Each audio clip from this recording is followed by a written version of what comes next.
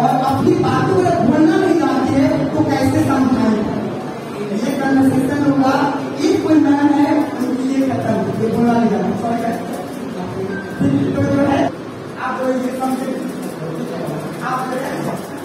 कोई कोई किसी को कुछ नहीं बोले। आप देख रहे हैं मैं कोई नहीं केवल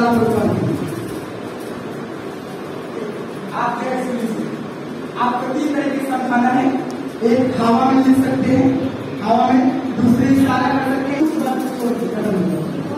बिल्कुल बिल्कुल अच्छा